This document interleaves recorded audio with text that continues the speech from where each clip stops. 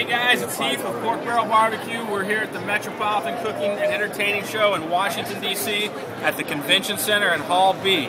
If you're seeing this and you're even five hours away, get in your car, drive up to D.C., come visit us. Look at this. We're giving away sauces and rubs, and we're, you can register for a smoker. You can look like this. that is what this sauce will make you look like if you buy it here today.